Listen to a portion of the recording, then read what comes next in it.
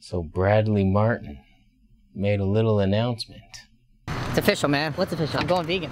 You're going vegan? I'm going fucking vegan. You know when people talk shit about vegans? Well, guess what? I'm about to be the biggest vegan you ever fucking seen. Your thoughts are a holocaust. They cost more to be hostile. You're a law of attraction dark child. So Bradley Martyn. I've never heard of this motherfucker. But I did a little checklist. Looking at his channel. Large following. Check. Good looking guy. Half check. Buff as fuck. I'll give it to you. So he has what it takes to attract the dead meat eating boys. He has it.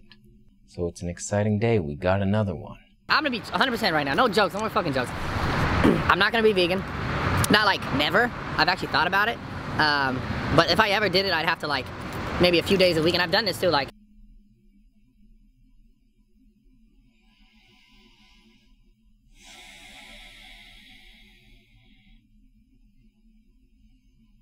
Listen, buddy. I am 5 foot 7 and 130 pounds of destruction. I will rip you in half with my dick. You have fucked off with the wrong bitch. Didn't have to make sense. Fuck yourself, you fence hopping motherfucker. You either go vegan or you fuck right off. I will suck your dick. I'm all teeth, bitch.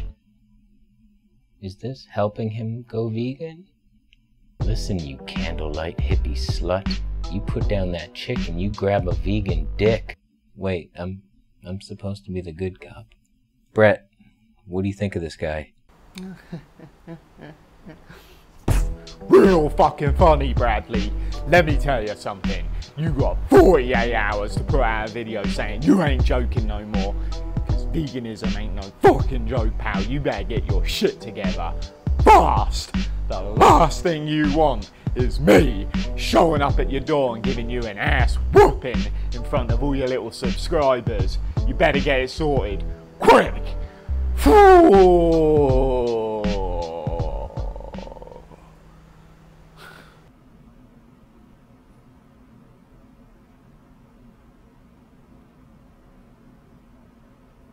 So so that's our our positive message for Bradley.